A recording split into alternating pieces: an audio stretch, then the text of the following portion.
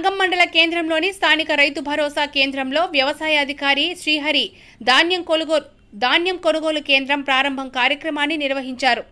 ఈ కార్యక్రమానికి ముఖ్య అతిథిగా వైసీపీ మండల కన్వీనర్ రఘునాథరెడ్డి పాల్గొని కొనుగోలు కేంద్రాన్ని ప్రారంభించారు. రైతులు తప్పనిసరిగా కొనుగోలు కేంద్రాలు సద్వినియోగం చేసుకోవాలని వారు సూచించారు. అదేవిధంగా రైతులు ఈకేవైసీ తప్పనిసరిగా చేయించుకోవాలని సూచించారు. ఈ కార్యక్రమంలో ఆర్బీకే సిబ్బంది రైతులు పాల్గొన్నారు. సుమారుగా ఐదు వేల నూట ఇరవై ఐదు ఎకరాలు వరి మనకి సాగు చేసి ఉన్నారు. ఈ మండల పరిధిలో సుమారుగా ఐదు కేంద్రాలు ఈరోజు ఓపెనింగ్ చేసుకుంటున్నాము. ఐదు ప్రొక్యూర్మెంట్ కేంద్రాలు. ముఖ్యంగా ఈ ఈకేసీవై అనేది చాలా ఇంపార్టెంట్. రైతులందరూ కూడా ఈ ఈకేసీవై చేసుకొని దీంట్లో ఎన్రోల్ చేసుకుంటే కానీ మనం ప్రొక్యూర్మెంట్ చేసుకునేదానికి అవకాశం ఉండదు.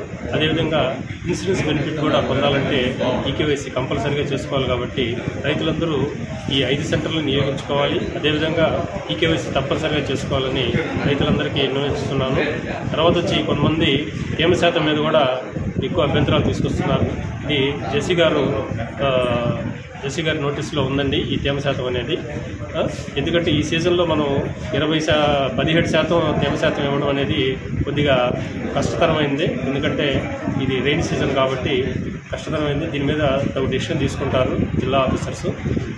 కాబట్టి రైతులందరూ కూడా ఈ ఐదు కేంద్రాలను వినియోగించుకొని ఎంఎస్పి పొందాలని నేను అందరినీ కోరుకుంటున్నాను.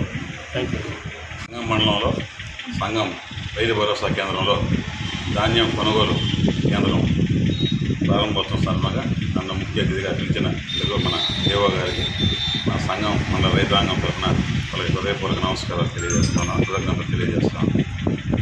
మొట్టమొదటి నుంచి కూడా ఆనాడు వైఎస్ రాజశేఖర రెడ్డి గారి ప్రభుత్వం అయితేనేమి వారి తనయుడు ఇప్పుడు వైఎస్ జగన్మోహన్ రెడ్డి గారు అయితేనేమి రైతుల సమస్యల పట్ల రైతులు ఎదుర్కొంటున్న ఏ సమస్యనైనా వారి చిత్తశుద్ధితో ఆలోచించి రైతులకి అనేక కార్యక్రమాలు వాళ్ళు రైతులకు చేయుత అందించడం జరిగింది. ఆనాడు రాజశేఖర రెడ్డి గారు రైతులకి రుణమాఫీ అయితేనేమి ఉచిత విద్యుత్ అయితేనేమి ఆనాడు రైతులు జీవిత